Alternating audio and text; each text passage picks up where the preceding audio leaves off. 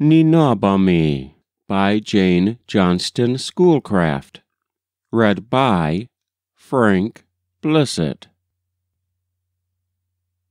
Say, dearest friend, when light your bark glides down the Mississippi dark, where nature's charms in rich display in varied hue appear so gay to wrap your mind and gain your eye, as light and quick you pass them by.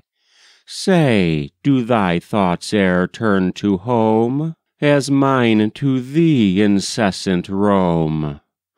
And when at eve in deserts wild dost thou think on our lovely child?